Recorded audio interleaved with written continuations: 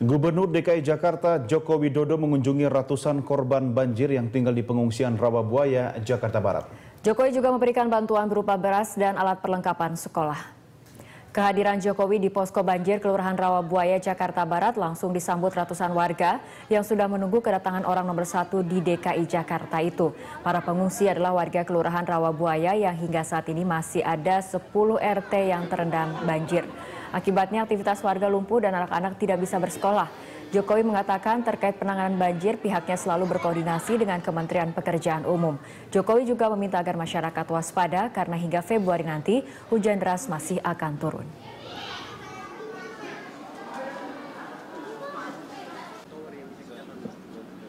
Ya sudah, sebagian sudah pulang sih. Pulang Pak ya? Yo, tinggal dikit sekali, ini tinggal mungkin hanya nggak ada 20 persen yang ada di sini sudah pulang semuanya untuk membersihkan rumah dan pakai HP. Dan moga-moga nggak ada nggak ada hujan lagi, nggak ada banjir. Ya ada buku-buku tulis untuk anak-anak, ada beras, ada roti, ada apa lagi nggak? Ya itu. itu.